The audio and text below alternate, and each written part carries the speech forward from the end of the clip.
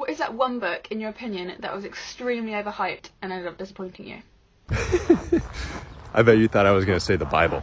That's a pretty funny answer, but let's get really specific and unhelpfully niche for a quick second. What book in the Bible is the most overhyped? I'd say Revelation, because people try to make it seem, I don't know, real when it's just an old man's dreams and he keeps telling us about them. And a dragon was there, and a serpent was there, and a beast was there, and Jesus was there, and he was spitting people out of his mouth. Okay, John, okay. Oh, and I'd also say Romans is tied with Revelation for most overhyped. Jonesing for the Apostle Paul is like saying Kerouac is your favorite author. Sure, go for it. But the rest of us might be letting it affect our opinion of you. Well, that was cathartic. Now you go.